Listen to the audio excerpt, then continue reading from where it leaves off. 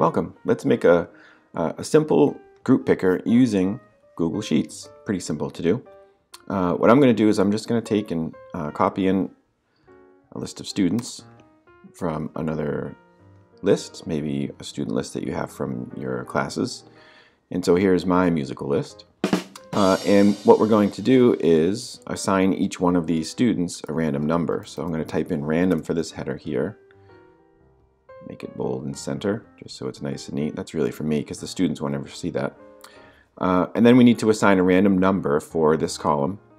And what will happen is we're going to basically force Google Sheets to pair up this cell with the name with the random number and then scramble them that way. So the way we do that is in this cell here we just type equals and then we do R, A, N, D, open and close the parentheses, and then just hit enter. And it will automatically generate a random number.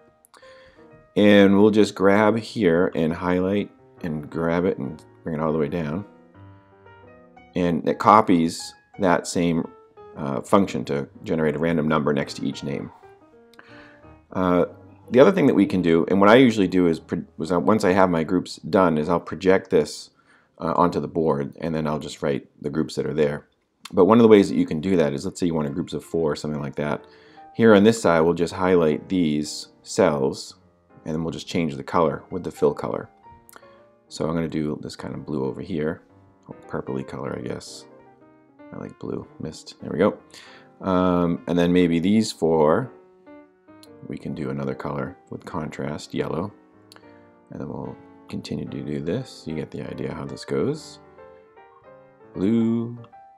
We're doing this real time so you can see that it doesn't take much time at all to do this. And blue, we're almost done with this list of students. Now down here, um, we don't have enough to do um, the same amount of for students in each group, but that's okay. We can have a group of three. They'll be fine. Uh, I think I think that group will work well together.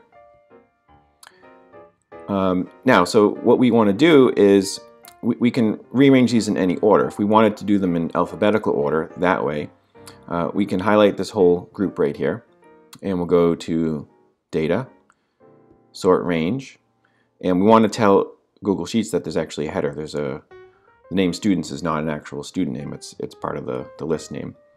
And then we've got it ABC, or we can do reverse alphabetical and we just hit sort and now these are in alphabetical order and so you could project this on the board and maybe like write a number one two three four you get the idea if you wanted to do random groups then you can just highlight both of those columns together and again we'll go to data sort and again we want to tell sheets that there is a header and our choice is, if we click on this, we've either got student or random. Let's do it by the random number and then hit sort.